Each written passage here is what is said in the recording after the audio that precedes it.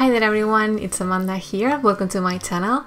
Today I'm going to make a rainbow card using die cuts. Actually, this particular die cut, I already used it on my previous video, but I just got a little bit obsessed with it and I had to use it again.